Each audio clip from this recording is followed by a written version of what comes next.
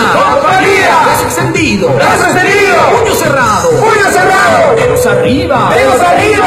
fruncido. fruncido. Cabeza hacia atrás. Cabeza hacia atrás. Cola hacia atrás. hacia atrás.